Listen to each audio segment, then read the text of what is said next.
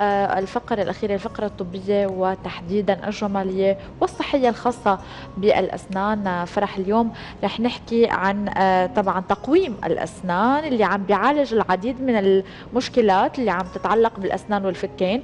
النتيجة والتأثير الممكن أنه يخلقه تقويم الأسنان على مظهر الابتسامة والأسنان. بيجعل طبعا تقويم الأسنان تجربة تستحق المعاناة. اليوم بدنا نتعرف على أبرز أنواع تقويم الأسنان معنا الدكتور محمد علي اختصاص معالجة أسنان. يسعد صباحك وأهلا وسهلا فيك. يسعد صباحك أهلا وسهلا. وصباح السادة المشاهدين جميعا. أهلا وسهلا. صباح الخير دكتور.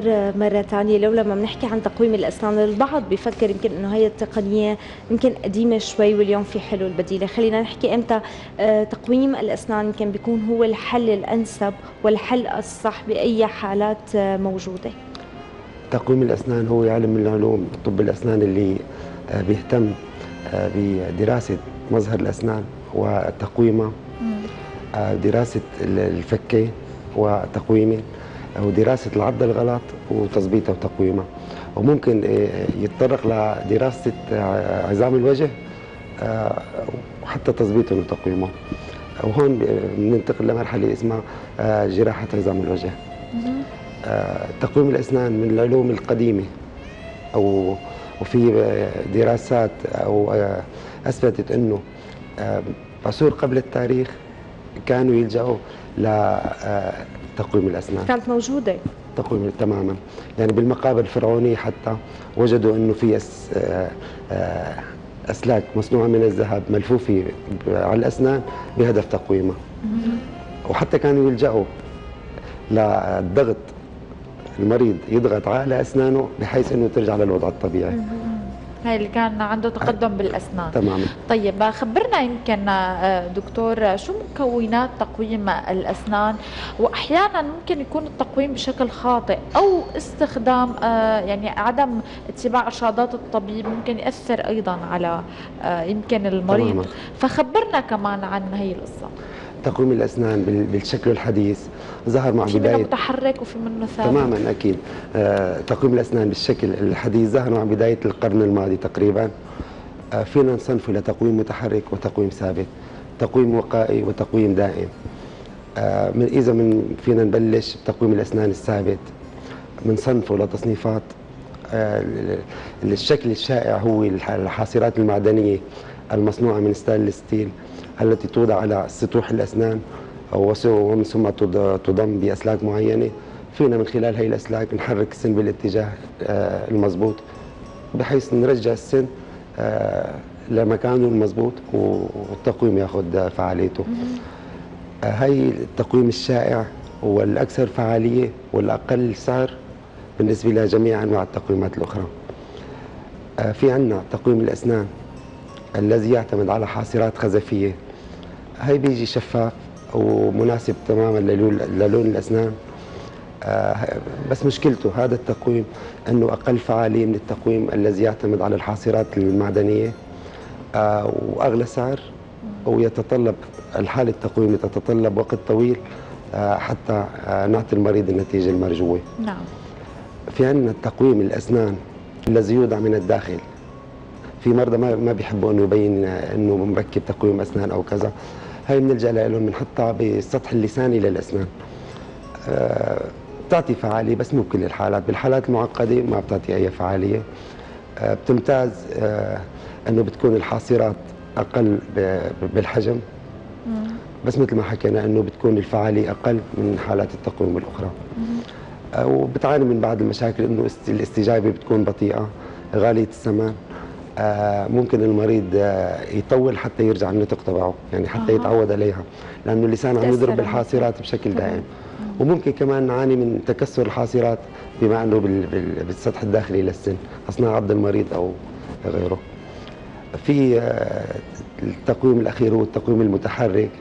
هاي بنعتمد على صفائح شفافة تبدل حوالي كل حوالي أسبوعين. آه، يعني بنحتاج أثناء فترة المعالجة التقويمي من 20 ل 30 صفيحة كل أسبوعين بنبدل صفيحة. آه، هي التقويم استجابته كمان بطيئة وتكلفته عالية جدا عالية. وبالحالات المعقدة ما بيستفيد المريض. يعني كل شيء له قصه بعض. وله مضاد قصه بعض تمام. آه، دكتور آه، اليوم البعض آه، بيقول أو كما يقال إنه للسن له ذاكرة. ممكن بعد التقويم يكون في شيء اسمه تثبيت للتقويم. لحتى ما ترجع الاسنان يمكن للشكل السابق اللي كانت فيه. هل هذا الشيء صحيح اليوم؟ وإذا كان صحيح قد إيه ممكن يبقى هذا التثبيت موجود على الأسنان؟ تمام.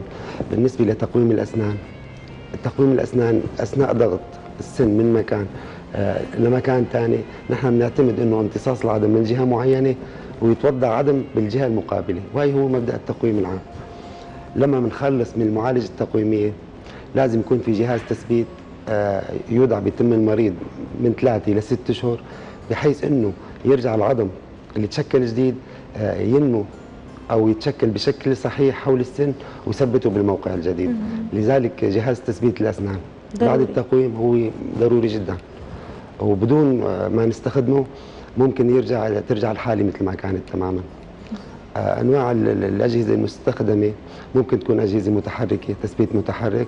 ممكن تكون بعد ال- ال- المعالجة التقويمية أجهزة من جوا الأسنان عبارة عن أسلاك وهي بتكون أكثر فعالية. بنشيلها بعد فترة معينة قد إيه. ممكن تبقى الفترة اللي من ثلاثة لست شهور على الأقل على الأقل. هي فترة كافية إنه يتثبت السن بالمكان الجديد اللي وصلنا له. نعم. طيب خبرنا دكتور هلا دائما نحن وصغار كنا نشوف رفقاتنا حاطين تقويم أسنان بس نحن ما أنا بنعرف حتى- بأي عمر آه، ممكن ينحط. بأي عمر المفروض ينحط تقويم الأسنان؟ آه، الصحيح للطفل إذا حسينا في عنده مشكلة بتركيب الأسنان أو تقدم الأسنان؟ تقويم الأسنان. بن- نحن بنفضل نحطه بال- بالمرحلة العمرية من 8 ل 12 سنة 13 سنة. بتكون عظام الفك عم تنمى عظام الوجه عم تنمو بشكل كويس بتكون الاستجابة سريعة وممتازة. آه بالأعمار المتقدمة بتكون المعالجة بطيئة ومكلفة أكثر. آه تمام. وبيعاني المريض أكثر وبتكون النتائج متأخرة. بالنسبة للأطفال إذا بدنا نجي للأطفال آه، ممكن نبلش آه، يعني بالتقويم وقائي فينا نقول. في عندنا أطفال مثلا عندهم عادات سيئة مص إصبع آه، ما عم يقدروا يعضوا بشكل مضبوط. آه، الأطفال اللي عندهم تنفس فموي ممكن لازم نعالج السبب التنفس الفموي. اللي عم يلجأوا لمص الإصبع سواء الإبهام أو السبابة هون في أجهزة معينة بحيث إنه تمنع الطفل يستمتع بمص الاصبع مشان ما تعمل له مشكلة. تمام. لأن إذا استمر مص مص الاصبع لفتره بزوغ الأسنان الدائمة أكيد رح يعمل تقدم بالفك العلوي أو تراجع بالفك السفلي. هون مشاكل نحن بغينا عنها. صحيح. آه هي الفكرة. طيب دكتور اليوم بعض الأشخاص آه، يمكن عندهم تراكم أسنان أو آه، أي مشاكل من تقدم أو غيرها آه، بيلجأوا للطبيب وبيسألوا عن الفينير. هل ممكن إنه يكون الفينير بديل عن التقويم أو في حالات إيه وحالات لا؟ معظم الحالات التقويم ضرورة. يعني الفينير ما بيعالج مشكلة الفينير ممكن الزيركون يعالج مشكلة. إذا في عندنا تراكب بالأسنان أو انفتال بالأسنان ممكن التلبيس الكامل المكون من الزيركون تعالج المشكلة. وجوه الفينير ما ما بتعالج ابدا اي مشكلة لأن تحلية الوجه جمالية بس تمام. الوجه الفينير بدنا نتقيد بالسن بشكله وباستدارته وببروزه لذلك ما فينا نعالجه من خلال وجوه الفينير. وأنا بفضل المعالجه التقويمي قبل قبل آه، قبل. اللجوء لأي تجميل.